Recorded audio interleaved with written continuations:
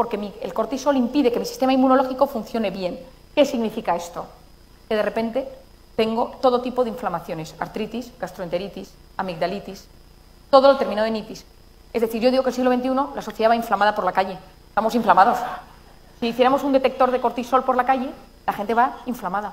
Por eso hoy en día hay un boom de enfermedades inflamatorias. Por eso los fármacos más empleados hoy en día son el ibuprofeno y el lexatín, el antiinflamatorio y el ansiolítico. ¿Por qué? Porque nuestro cuerpo está sometido a esa cantidad de, estrés, de preocupaciones, que ahora las tipificaremos, que hace que mi cuerpo responda inflamándose.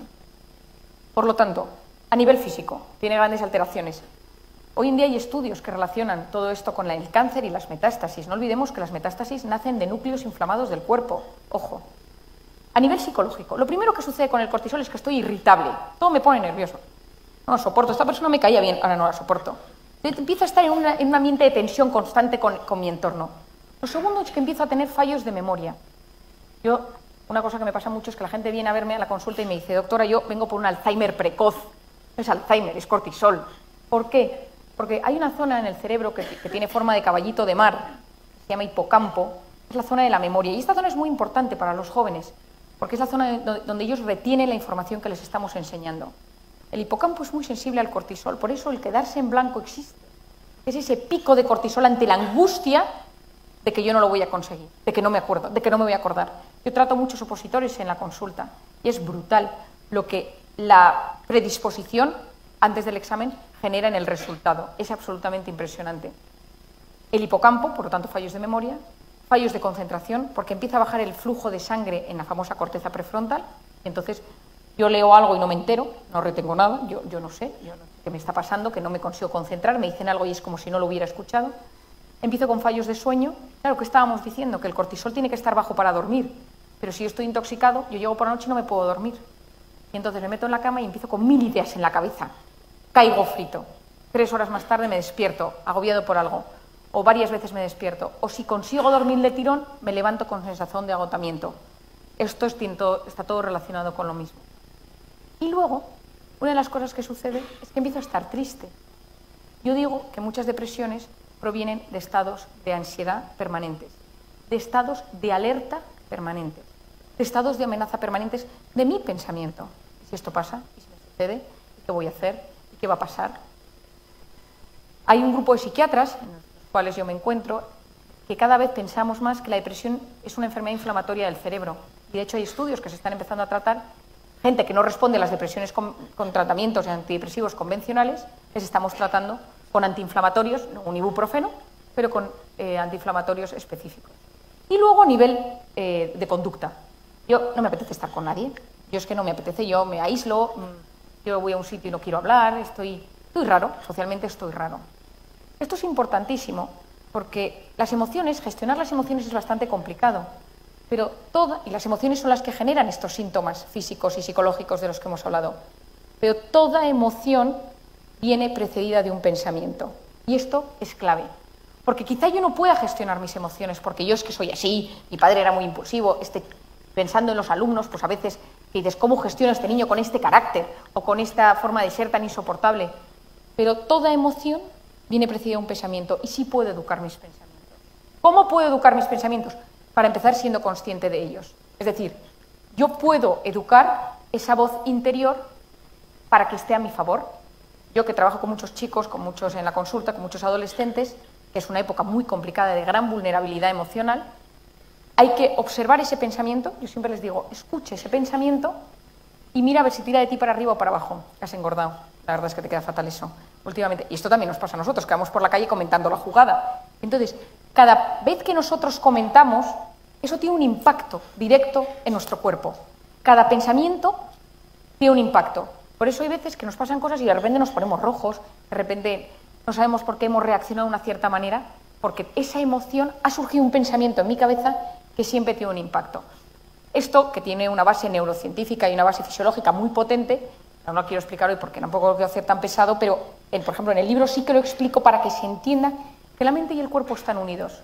Según la Universidad de Harvard, del 60 al 80% de las consultas médicas en atención primaria son debidas a emociones tóxicas. Son debidas a desesperanza, rencor, tristeza, cosas mal gestionadas en uno mismo. Entonces, si nosotros decimos que la felicidad no es lo que nos pasa, sino cómo interpretamos lo que nos pasa, ¿de qué depende esa interpretación de la realidad? Y vuelvo a lo mismo, esto sirve tanto para mí, para una persona a la que yo estoy asesorando o ayudando, o para mis hijos como para mis alumnos. Llega una información del exterior y yo interpreto. Pongámonos una, cosa muy simple, que se pone a llover. Y que uno dice, uy, qué bien que llueva porque hoy he plantado un huerto en mi jardín, me viene muy bien esta lluvia. Y que otro día, qué horror porque yo tenía pensado ir al campo esta tarde. Es decir, cada uno la misma realidad la interpreta de diferentes maneras según tres factores. antes de esto hablábamos de que la interpretación activa el modo de crecimiento de protección, es decir, yo siempre digo que en la vida tenemos dos maneras de estar en la vida. Una es en modo supervivencia, es decir, lo estoy pasando fatal, el mundo se me está derrumbando y el tema es supervivencia. Tengo un hijo enfermo, eh, tengo un problema económico severo, eh, mi marido está en el paro, eh, cualquier cosa. Hay momentos en la vida en que estamos en modo supervivencia y otros momentos en los que estamos en modo crecimiento. Las cosas parece que van relativamente bien, incluso uno lo mira con cierto, poco con cierta inquietud, no pasa nada, qué curioso, es lo que yo llamo el momento de crecimiento, porque ahí hay que crecer y ahí hay que sacar la mejor versión que llevamos. Y en los momentos de supervivencia estamos intoxicados por cortisol, pero hay que ser conscientes de que estamos en modo supervivencia. Lo que no puede ser es que llevemos en modo supervivencia dos años. Ahí tenemos un problema. Porque entonces es que las circunstancias del entorno son las que se han adueñado de mi vida y yo no tengo control sobre ellas. Depende de si estoy en crecimiento o si estoy en protección, se activan mecanismos fisiológicos a nivel molecular, en el cuerpo, las enfermedades, a nivel de la membrana, la epigenética, los telómeros, que ya los conocemos bien, a nivel del cerebro, todo el tema de creatividad, solución de problemas, activo o desactivo. Estoy en modo que no soy capaz de ver nada, estoy en modo que empiezo a que mi cerebro funcione mejor. ¿De qué depende esa interpretación? Lo primero es lo que yo llamo el sistema de creencias. Estas son ideas que yo he tenido durante mi vida, por mi educación, por las, cosas que me han pasado, y es como yo creo que debería ser el mundo o como deberían ser las cosas. Voy a contar un ejemplo que me pasó a principio de año. Me viene una señora a consulta, señora que es catedrático de universidad, que es de origen muy humilde.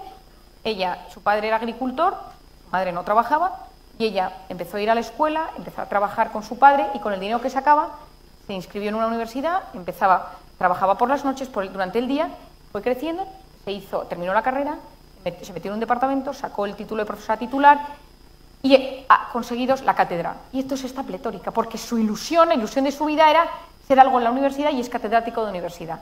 Y entonces tiene tres hijos, su única ilusión es que sus hijos sean profesores titulares o catedráticos de universidad. Y uno de sus hijos estudia segundo de telecomunicaciones en la Politécnica, muy listo, y entonces me viene ella a mí, llorando a la consulta, desconsolada, y me dice, tengo que contarle mi gran drama. No sabe lo que me ha pasado. ¿qué ha pasado? Me dice, le voy a contar mi hijo, sabe que es muy, muy, muy listo. me ha hablado varias veces del hijo.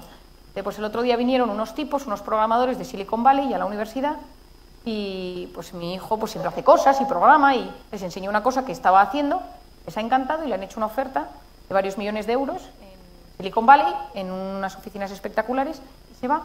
Y no va a ser catedrático. Y no va a ser catedrático de universidad. Y le digo, pero vamos a ver, explícamelo bien, porque creo que me he perdido alguna cosa. No, porque se tiene que ir ya. Entonces no va a, no va a ser ni licenciado en telecomunicaciones, ni, va, ni va a hacer carrera en, la Politécnica. Se va a unos tipos de Google, sí, que dice que está muy bien, pero... Y, mi sueño, y entonces solo llora. Entonces, claro, a cualquiera de nosotros que nos cuentan que esto le ha pasado a nuestro hijo, hombre, cuanto menos sentimos orgullosos. Digo, pero qué, qué ilusión que tú, tu hijo... No, que esa gente es muy rara. Aquí la universidad es un sitio muy sano. Digo, no sé qué universidad será, porque la, cátedra, yo mi experiencia, yo vengo de familia de catedráticos y tengo entendido que es un mundo muy peligroso. Entonces, ¿para que no? Es que yo lo tenía todo pensado. Pues no hay manera de que se anime. Porque su interpretación, dice, mis amigas me dicen, pero qué suerte has tenido, te puedes ir varias veces al año a verle a California. California, si a mí me gusta mi pueblo. Entonces, dramático. Dramático, kafkiano, una cosa que no, que no hay manera, ¿por qué? Porque el sistema de creencias es lo más difícil de cambiar. Porque es cómo nosotros nos hemos educado, las ideas que nos hemos metido o nos han introducido, el entorno, los profesores, los padres, los amigos y las propias vivencias. El segundo es el estado de ánimo. Es decir, si uno está deprimido, la interpretación de la realidad es nefasta. Esto siempre lo comparo con el fútbol. Yo soy muy futbolera, soy del Barça, y, ya, y entonces ayer por la noche mi marido me puso, es lo que hay, que tengo una familia catalana y somos todos del Barça. Y ayer mi marido por la noche, estábamos los dos muy cansados, me puso un reportaje que se ha hecho sobre cómo el Barça llegó a ganar todo lo que ganó en tres años. Entonces era un reportaje espectacular, de estas cosas que se hacen hoy en día, que son puro, pura emoción de fútbol. Mi marido terminamos de verlo y estábamos pletóricos, llamábamos a la gente para decirle que les queríamos. O sea, por, por, cómo habíamos visto el programa. Es decir, bueno, el fútbol es un estado de ánimo. ¿eh? es que los que somos futboleros, el fútbol, el fútbol te puede cambiar la percepción de tu trabajo varias semanas. Pero yo esto lo descubrí cuando estaba en la carrera y que ganó España el Mundial con el gol de Iniesta contra, contra Holanda. Y había dos personas en el, en el departamento que yo estaba en ese momento trabajando, que eran dos de los jefes, que se llevaban fatal. Solo les unía el fútbol. Pues se llevaban fatal. Todo el día uno hablaba mal del otro y tal. Y el día que ganó por la mañana, uno al otro le había traído un regalo entonces yo dije, es que el fútbol cambia a las personas. Bueno, pues el estado de ánimo cambia nuestra interpretación de la realidad. ¿De qué depende el estado de ánimo? Lo primero es del sueño. Es decir, una persona que no duerme tiene alterado el estado de ánimo y tiene todo alterado. Por eso yo en consulta lo primero que pregunto es cómo duermes. Porque una persona que no duerme bien tiene toda su vida alterada. Aparte de que su organismo está segregando de forma inadecuada las cosas. Y esto es importante para nosotros, para los jóvenes de hoy en día, que duermen muy poco.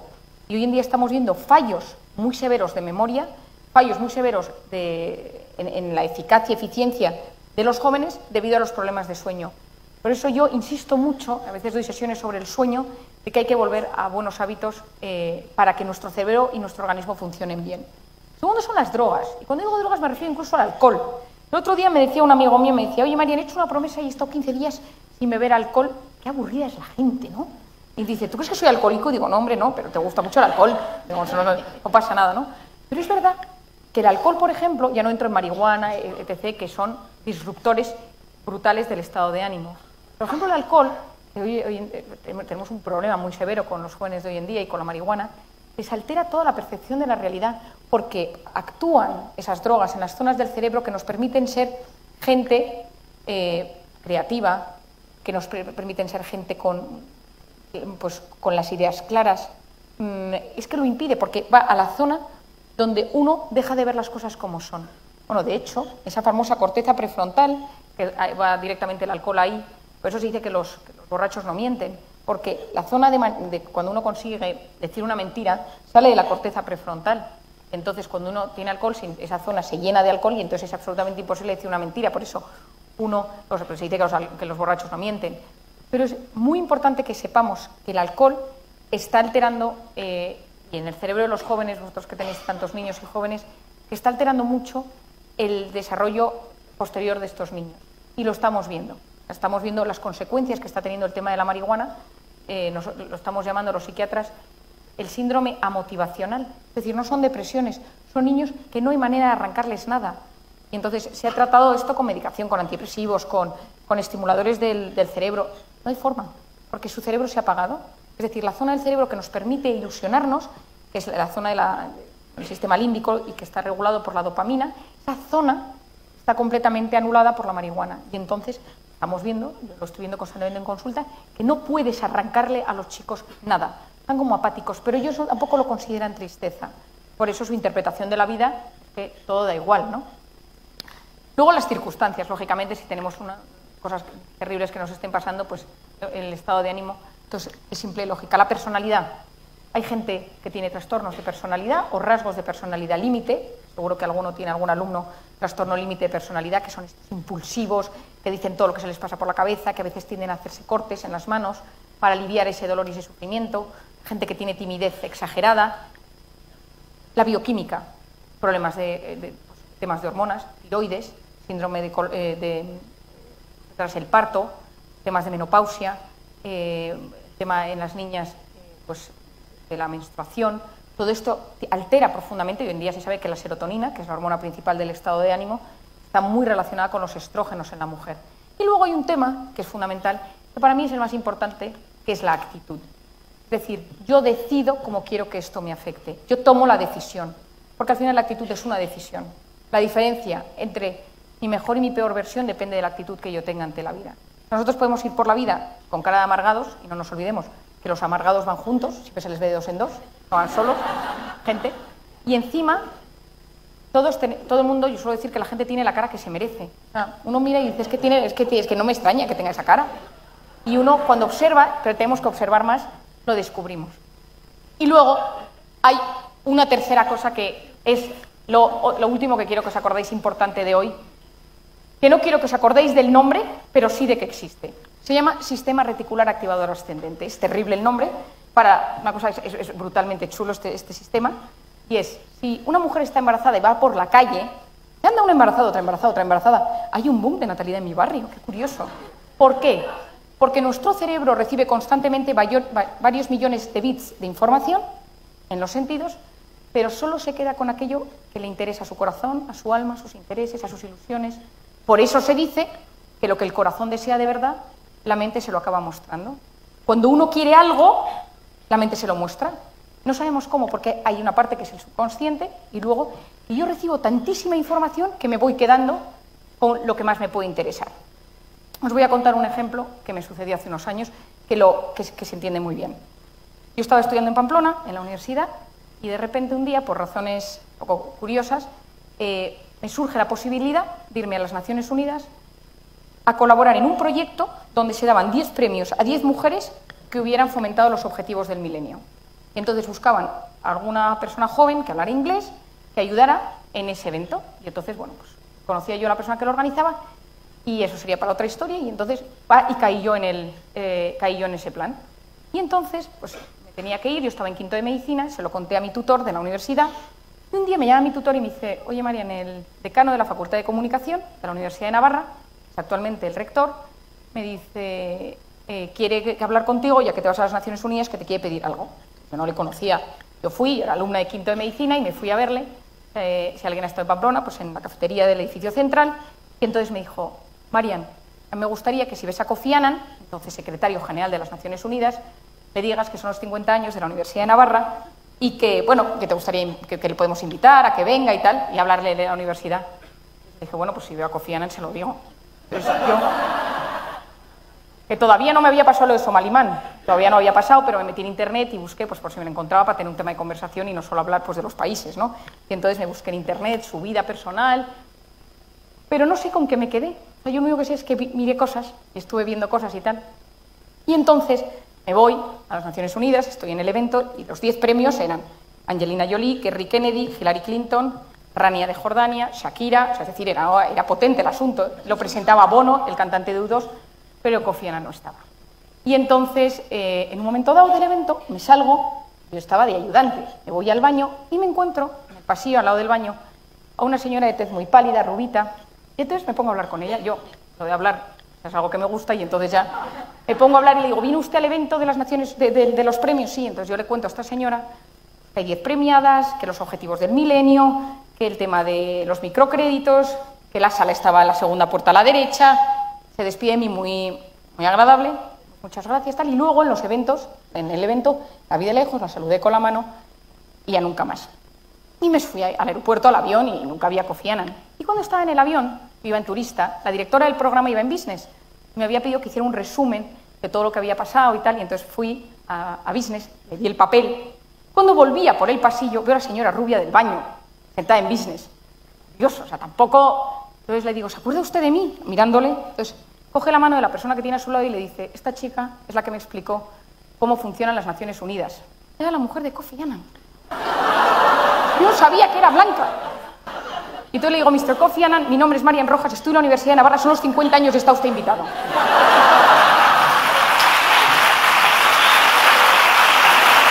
Y entonces estuvimos hablando en el avión y yo pensé, no es posible, no es verdad, esto no me ha pasado. Yo llegué y empecé, y ahí empieza toda mi teoría de la suerte. Claro, yo cuando busco su biografía, yo no me acordaba, porque el sistema reticular es inconsciente, está ahí detrás. Lo tenemos, yo voy con el sistema encendido por la vida, por eso me pasan siempre cosas. Yo lo he descubierto después de muchos años. A mí me hago y a veces lo apago porque digo, ya no, ya no más, no quiero nada más. Pero al 90% de la gente que no le pasan cosas buenas es porque no sabe lo que quiere que le pase y tiene este sistema apagado. Y ese es el tema. Otro día me dice mi marido, hace unos meses, sea nuestro aniversario de bodas, me recoge en casa y me dice, vámonos a cenar.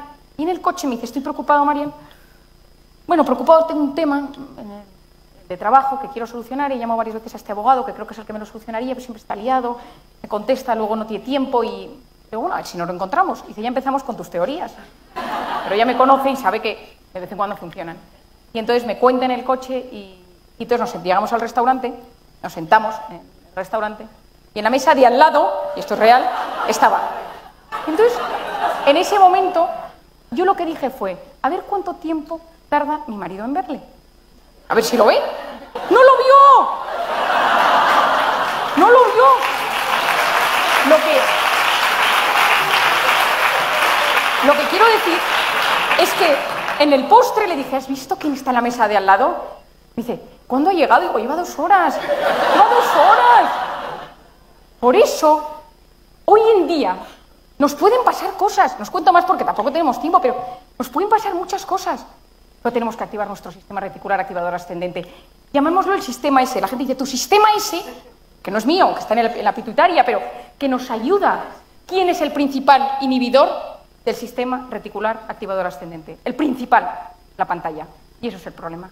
Nos han dejado de pasar cosas buenas porque vivimos una vida virtual. Y hemos dejado de vivir una vida real. Porque las cosas que nos llenan son las cosas de la vida real, no las de la vida virtual.